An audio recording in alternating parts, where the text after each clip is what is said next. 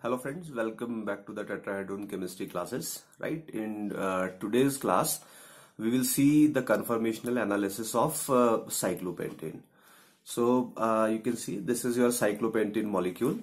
Five carbons are there along with the 10 hydrogens, two hydrogens each on the carbon atoms. If you see the bond angle between any two carbon atoms, it is 100 8 degrees which is uh, very close to the 109.5 degrees right? Which is that normal tetrahedral bond angle. So there is a very very less angle strain in this molecule right? But if you see uh, these two hydrogens if you focus on these this one and this one and I'm tilting the model in this way so they are actually eclipsing hydrogen. Similarly these two are also eclipsing hydrogen. All hydrogen pairs actually on each carbon atoms are eclipsing in nature. And if I rotate the molecule in this way and try to show you what is happening here, then you can very easily see fine in this way if I am holding this one. So this pair and this pair, the, the two hydrogens on the front carbon and two hydrogens on the rear carbon, they are also eclipsing. Similarly, these are also eclipsing. So lots of torsional strain is there in this molecule. So to overcome this torsional strain, uh, this cyclopentane can adopt different conformations. One such conformation is called uh, your envelope conformation and second conformation is the uh, your half chair conformation. So how we can see these conformations? You can see, uh, say this is your normal envelope and uh, this is the flap of the your envelope. If I uh, put this envelope in this uh, manner right then you can see this is carbon number one which is a carbon which is actually at the top position. You can consider is at 1 2 3 4 5 now this carbon one position is not fixed actually. So this can go at the position number 2 and position number 2 can come here. Similarly this carbon can exchange its position with this carbon with this carbon with this carbon. That means all carbons in the plane right? So this is uh, your uh, envelope uh, conformation and in this envelope conformation the bond angle is actually almost 109 degrees.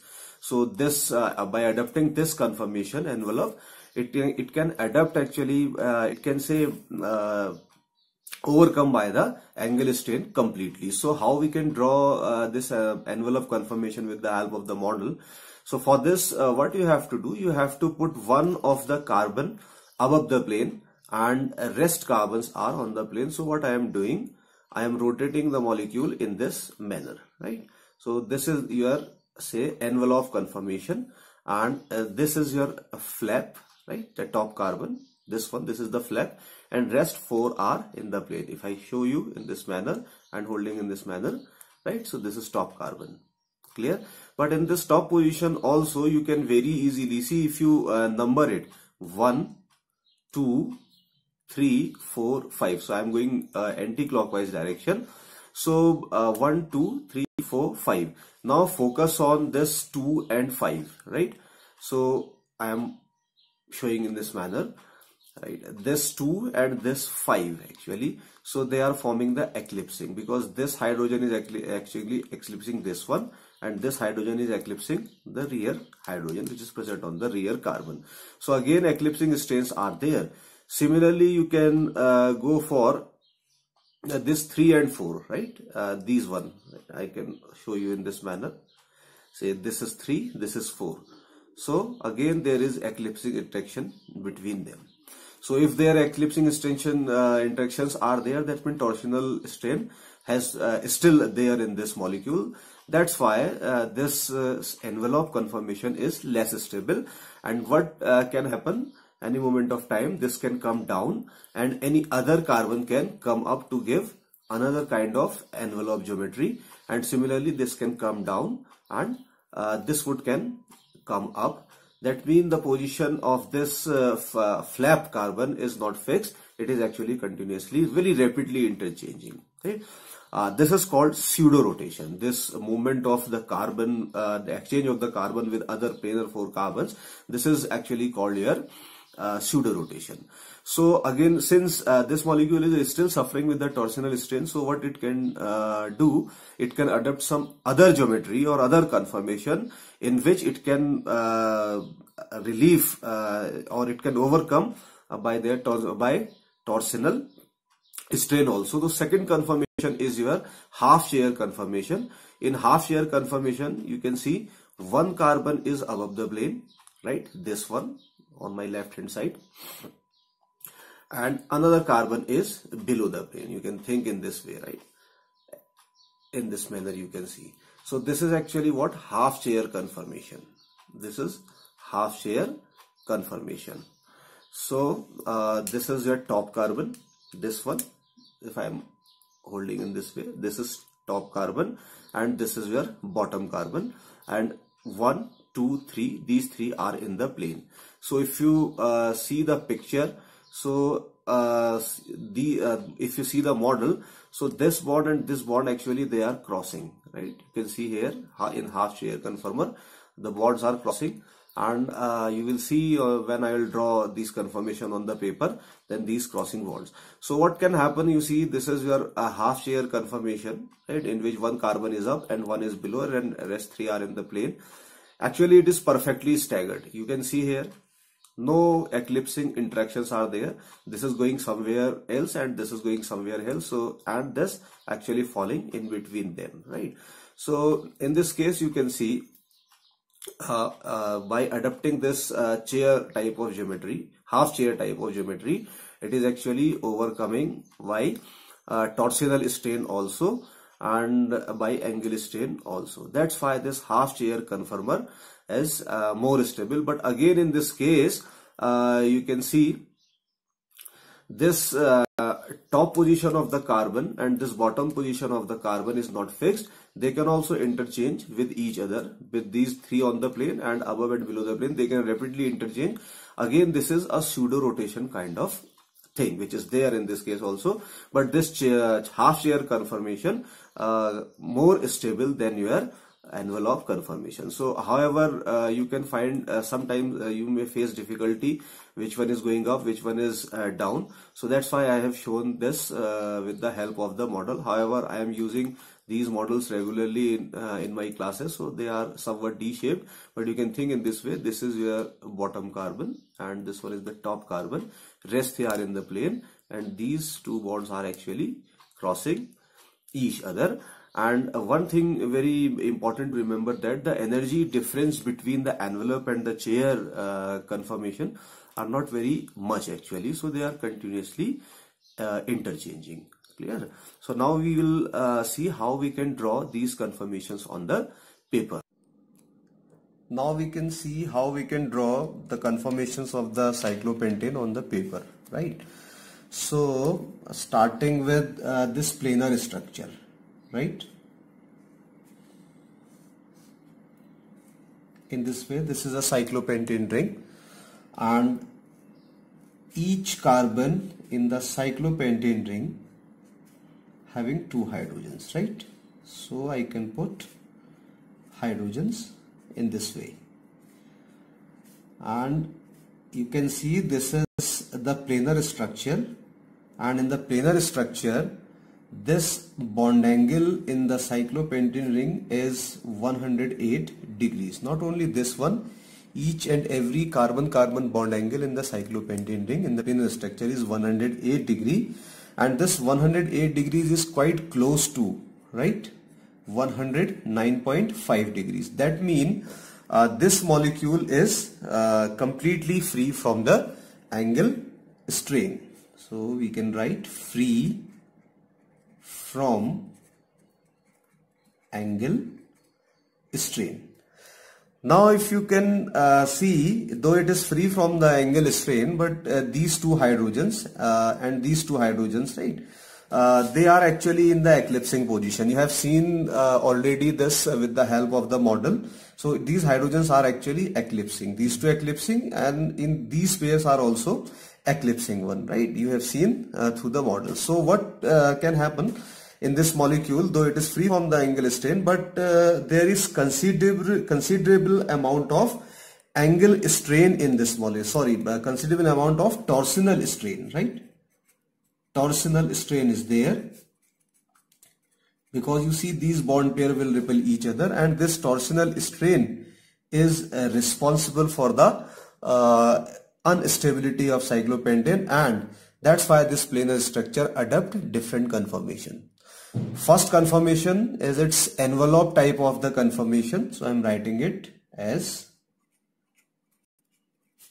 envelope type of conformation and this envelope conformation is less stable as I already told you due to the torsional strain. Though uh, by adapting this envelope conformation the cyclopentane uh, have the bond angle around somewhere around 900.5 degree. That means zero angle strain would be there.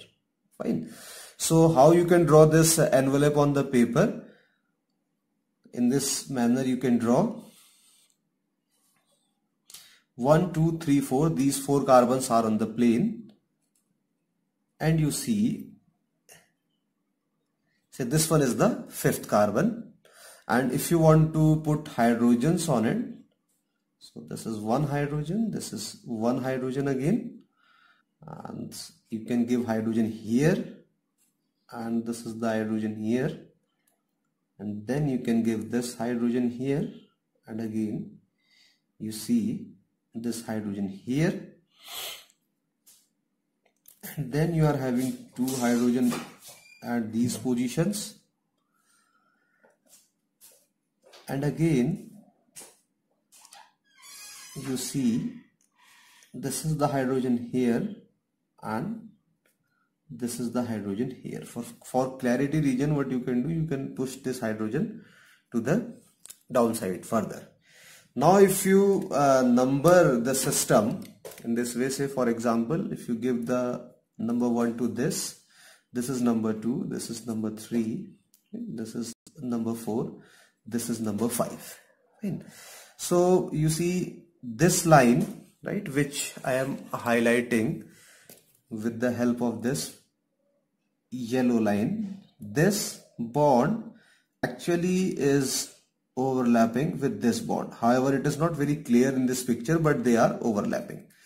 Right? That means they are in the eclipsing conformation similarly this line and this line actually you see they are overlapping. How you can consider this one?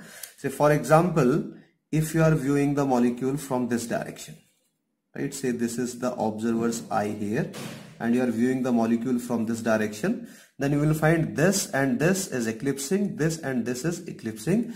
That mean 2 comma 5 bond pairs are eclipsing. Fine. Similarly what you can see here this one and this one they are eclipsing.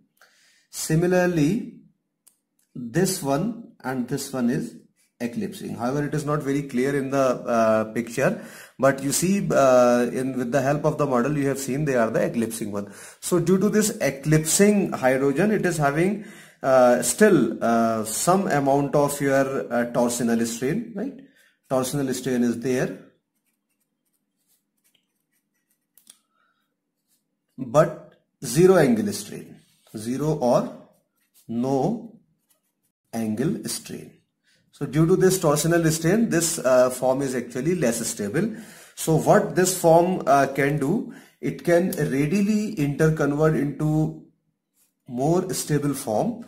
And that more stable form is actually your half chair conformation and remember this half chair conformation is different from your cyclohexane right? Where in case of the cyclohexane uh, we were having six carbon. Here we were having only uh, 5 carbon uh, 5 carbon right? So see in the envelope structure four carbons are in the plane and uh, fifth one is above the plane. But in the half chair you can see the three carbons. You see this carbon this carbon and this carbon right? They are in the plane and one carbon say I am putting it here it is above the plane right? And next carbon I am uh, putting this carbon say somewhere here. This is below the plane. And then these bonds are actually crossing.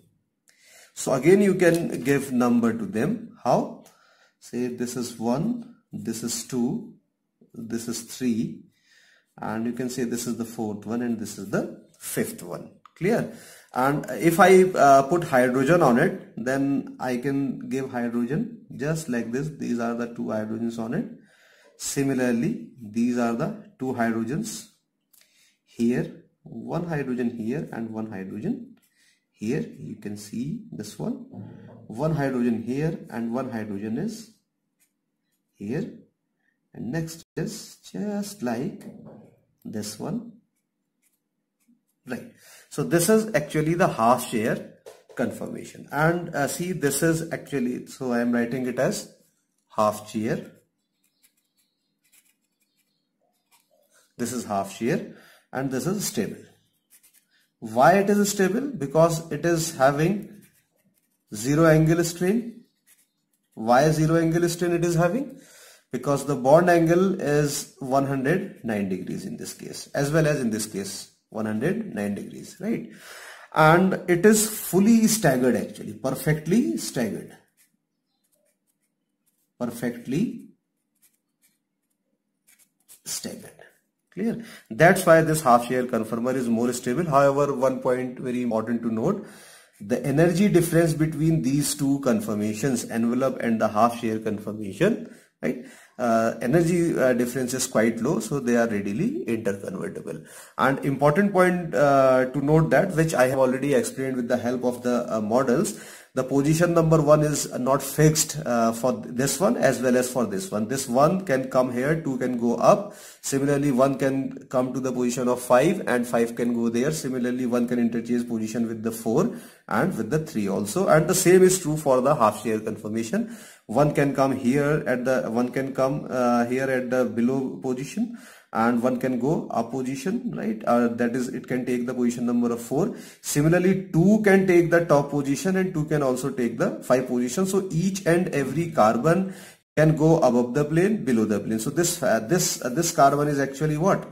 This is above the plane.